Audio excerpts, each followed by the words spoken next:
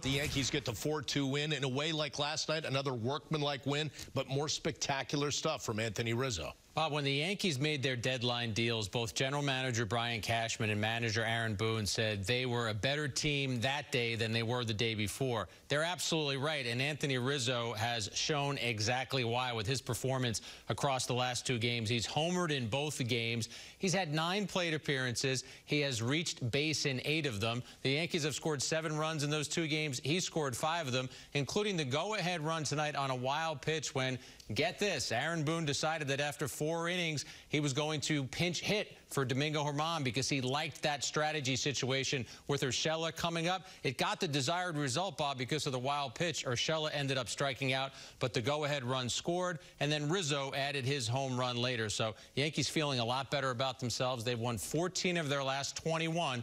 They are one game behind the Oakland A's in the loss column for the second wild card. And they win another series and will go for the sweep, the always elusive sweep, Sunday afternoon.